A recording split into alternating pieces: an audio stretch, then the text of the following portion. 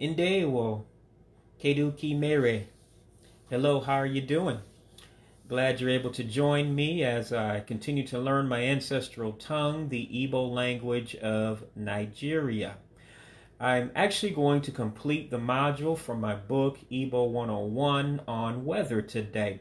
And we're going to go through items 126 to 137 and then start a new topic probably sometime uh, next week if the good Lord sees fit. Currently, I'm studying uh, the words for time in Igbo.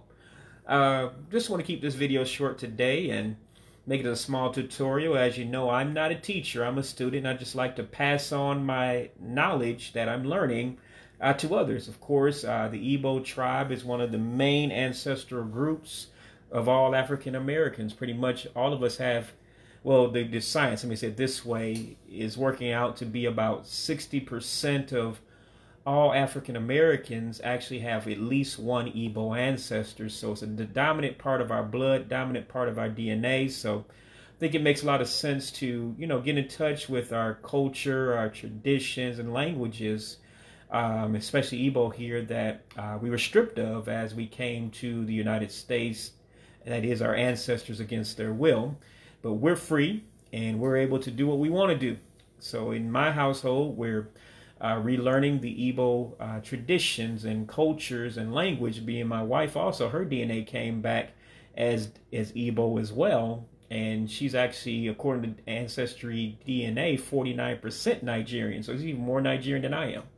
But nonetheless, um, we really feel close to the Igbo uh, people and language because of the accommodating uh, nature and welcome and receive from other Igbos in, in, the diaspora as well as over in, uh, Nigeria itself. And of course, I've been in Nigeria twice, and so it feels like my home away from home when I there. I felt it just definitely right at home. Uh, from the moment that I arrived in Nigeria in 2018, 2019, as well as my retreat. Re- it was supposed to be 2020 until the pandemic hit. It would be my third year in a row, but we'll have to wait until uh, next year. The good Lord sees fit. Uh, but without further ado, we'll go ahead and get into the few that we have. Of course, I start with my picture just because you can't see me on uh, the screen.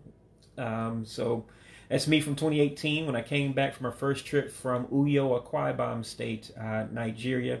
Brought those clothing back as well. That's called a Senator's outfit. It's probably my favorite one that I have in my closet now of the uh, 8 to 10, I forget what the number is now, of uh, outfits that I brought back uh, from um, Nigeria.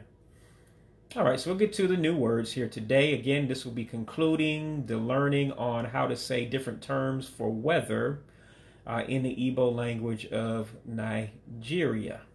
All right. So we'll start with to cool down.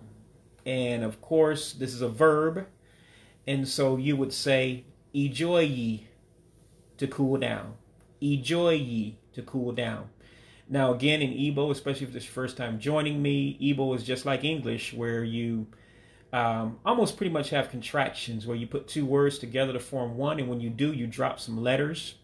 And this one is no exception. So it looks like on the screen you would say Ijo Oyi, but you drop that uh, letter that looks like an O in English, and then you pronounce the rest together. So that's why I'm saying Ijoyi, Ijoyi uh, for cool down. And again, uh, once you study the alphabet, you know, I'm doing a lot of YouTube videos too. You can, um, and, and also go in my own uh, post also on Facebook.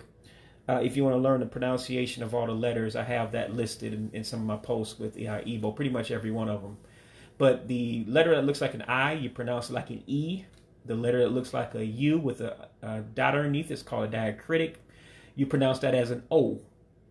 And so that's why you're hearing me say Ijo Yi.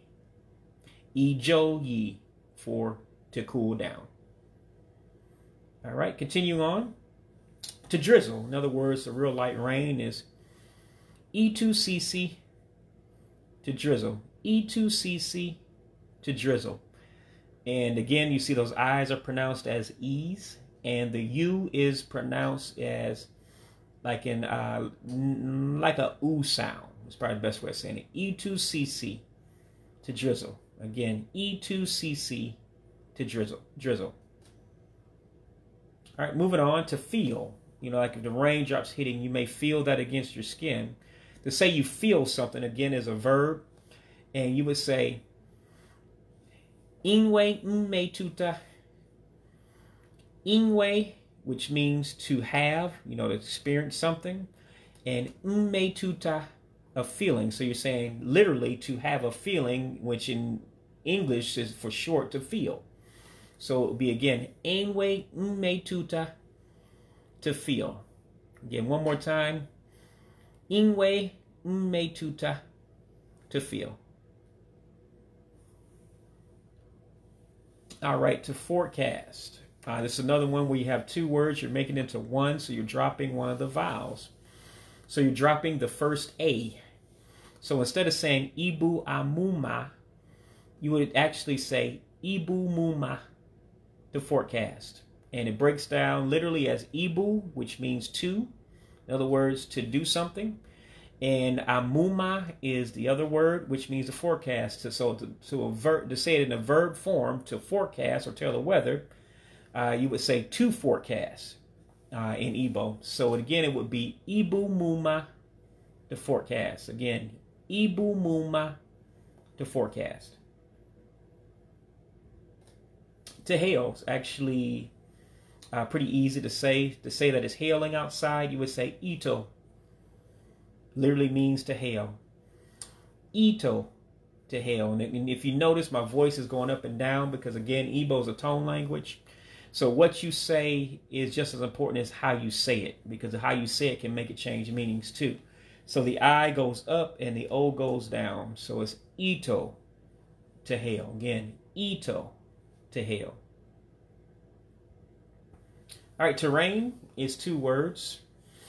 Um, this one, if so it doesn't confuse you, you do have two words, but you don't have to drop any letters because you don't have two vowels coming together from the two words. So you just pronounce them the way you see it. So it's Ozuzo Miri for rain. And again, remember the I's sound like E's in Igbos. And in, in Igbo, that is. And the U sounds like a U sound. But the O sound like an O. So it's Ozuzo Miri to rain. Again, Ozuzo to rain All right, getting to the last few before we conclude. Again, we're still dealing with verbs. So to say to report, you're basically literally saying to to uh, report, just like you're doing in English. So it actually would be ime mpesa. Ime meaning to do something, and mpesa means to report. So ime mpesa to report. All right, to shine, like the sun is shining outside.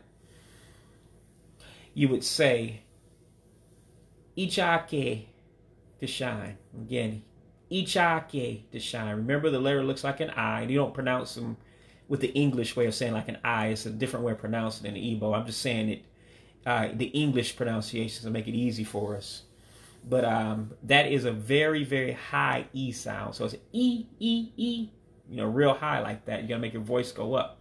So it's Ichake to shine. And then you have the two E's at the end, which remember those are A's. When you see two letters together like that, it means kind of like stretch it out when you say it. So it's Ichake to shine.